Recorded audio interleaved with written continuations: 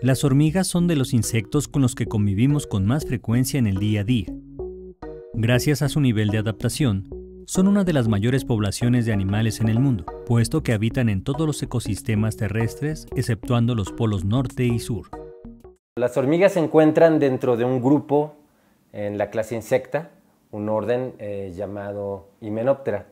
Y bueno, eh, el orden Hymenoptera está representado principalmente por especies muy carismáticas que nosotros conocemos, como son las hormigas, pero también las abejas y las avispas sociales. Una de las importancias que tienen las hormigas en, los ecosistemas es que juegan un papel como depredadores, un papel fundamental en el control biológico de las poblaciones de otros artrópodos, eh, de otros insectos. Si no hubieran hormigas eh, depredadoras de estos insectos, pues estos insectos, sus poblaciones crecerían de manera tal que que muchos de ellos, que son herbívoros, acabarían con, con, las plantas. ¿no? Otro papel importante que juegan las hormigas, algunas de ellas, algunas especies, son dispersoras de semillas. Y bueno, no hay que olvidar también que muchas especies de las especies de hormigas son depredadas por otros animales.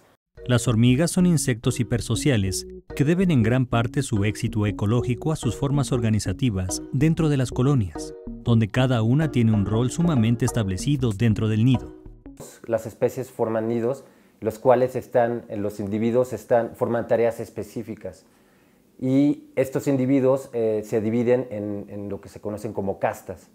Estas castas, en muchas ocasiones, dependiendo de los grupos de especies de hormigas, pueden tener eh, hasta formas muy diferentes. Si tú ves una reina, por ejemplo, y una obrera, eh, tienen formas diferentes. Dentro de las 14.000 especies conocidas hasta ahora, una que llama particularmente la atención por su capacidad de supervivencia es la hormiga fuego.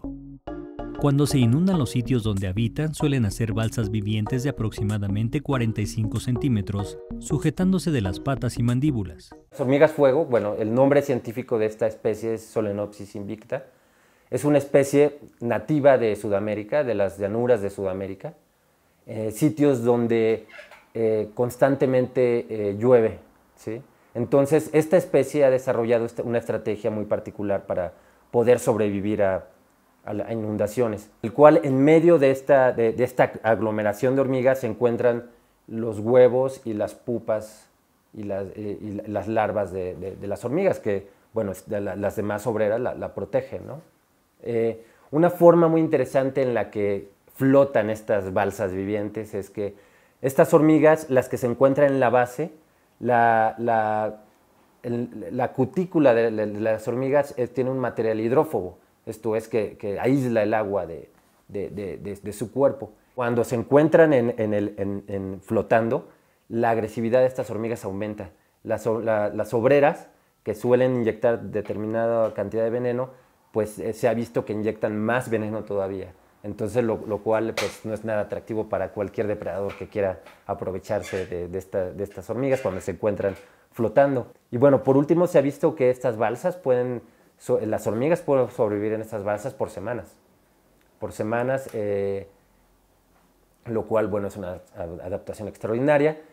Con información de Frida Falcón e imágenes de Pedro Rodríguez, Notimex.